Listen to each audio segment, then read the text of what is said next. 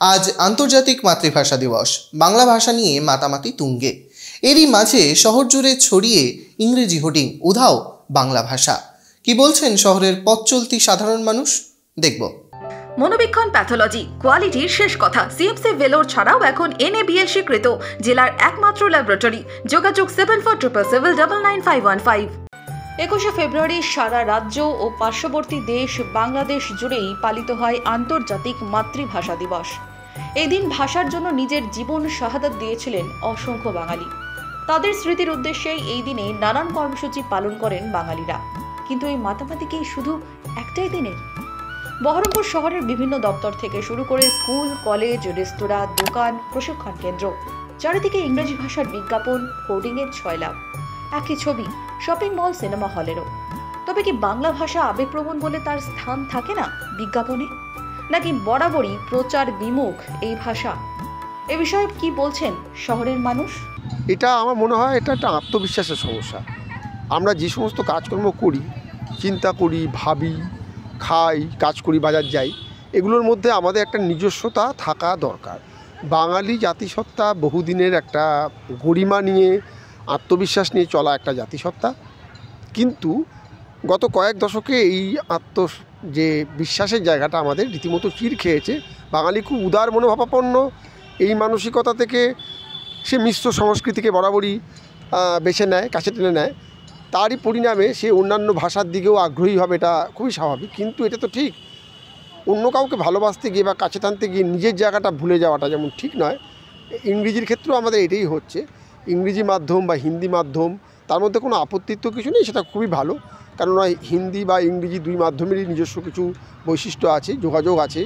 যোগাযোগ রক্ষা করার মতো কিছু শক্তি আছে, রাজনৈতিক, অর্থনৈতিক। কিন্তু আমরা জানি সারা পৃথিবীতে বাংলা ভাষা একটা বহুল প্রচারিত এবং আদৃত ভাষা। আমাদের পশ্চিমবাংলায় কি জানি একটা স্নব কালচার যাকে বলে, একটা উন্নাসিকতা দেখা যায়। এবং বাংলা ভাষাটাকেও উচ্চারণ করার সময় একটু ইংরেজিকরণের চেষ্টা করা হয়।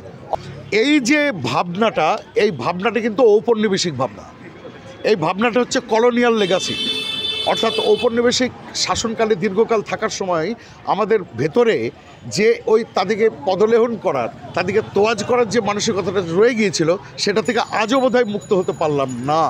পশ্চিমবঙ্গের রাস্তায় রাস্তায় আজ প্রাধান্য পেয়েছে ইংরেজি আধুনিকতা। বাংলা ভাষার জোর কি কমে আসছে? এই প্রশ্ন আজও থেকেই যাচ্ছে। কি চাইছেন শহরের পথ চলতি মানুষ? আজকে তো মাতৃভাষা দিবস। আমরা বাঙালি হিসাবে এটা আমাদের বিশাল গর্বের একটা দিন আজকে। আমরা চাইছি বাংলা ভাষাটা আবার ফিরে আসুক, কারণ এটা আমাদের মাতৃভাষা। আমরা যত ইংরেজি প্রচলন করি বা কথা বলি, যাই বলি, আমাদের মাতৃভাষা হচ্ছে বাংলা। আমরা সবার কাছে এই বার্তাটাই দিতে চাই, বাংলা আমাদের নিজস্ব ভাষা, আসুন আমরা সবাই মিলে এই বাংলাকে নিয়ে চলি। সুতরাং বাংলা ভাষা মাতৃভাষা দিবসটা আজকে পালিত হয়, কারণ মাতৃভাষা আজকে প্রকাশ হয়েছিল। তাই মাতৃভাষা মাত- বাংলা ভাষাটায় অবশ্যই ঝোঁক দেওয়া উচিত। কিন্তু সেটাকে আরও জোর দিয়ে বাংলা ভাষাটাকে আনা উচিত। কিন্তু এখনকার জেনারেশনগুলো সেটা পালছে না। তো ইংরেজিটাকে বেশি জোর দিচ্ছে তাদের ভবিষ্যৎটাকে উজ্জ্বল করার জন্য। কিন্তু তাদেরকেও মনে রাখা উচিত যে তারা জন্মিছে বাংলায় তাদের বাংলা ভাষাটাকেই গুরুত্ব দেওয়া উচিত। চারিদিকে লক্ষ্য করলে যেটা দেখছি, যত ফেস্টুন ব্যানার বা দোকানে যে সমস্ত লেটার রাইটিং থাকছে, সেইগুলোতে আমরা বেশি বাংলাকে বাদ দিয়ে ইংরেজি ভাষাটাকে মানে ইংরেজি ভাষাকে বেশি প্রাধান্য দিয়ে ফেলছি। এবং তার ফলে কী হচ্ছে গ্রামগঞ্জ থেকে যারা এই শহরের দিকে আসছেন, যারা তাদের মধ্যে ম্যাক্সিমাম যেহেতু আমি মুর্শিদাবাদের উদাহরণ দিয়ে বলছি, মুর্শিদাবাদ জেলা যেহেতু কৃষি নির্ভর দেশ, সেহেতু ম্যাক্সিমাম কৃষকরা যারা থাকছে বা লেবার শ্রেণি যারা থাকছে, তারা হয়তো অতটা ইংলিশ ল্যাঙ্গুয়েজের সঙ্গে অতটা মানিয়ে নিতে এখনও পারে না বা পারছে না। তো তাদের সেখানে যদি বাংলা লেটার রাইটিংগুলো থাকে বা বাংলা ভাষাকে যদি বেশি প্রাধান্য দেওয়া হয় তাহলে তারা সহজে সেই জিনিসটা ইজিয়েস্ট হবে তাদের কাছ থেকে ব্যাপারটা বুঝতে এবং তারা সেই কালচারটার সঙ্গে সম্পূর্ণভাবে মানিয়ে যেতে পারবে।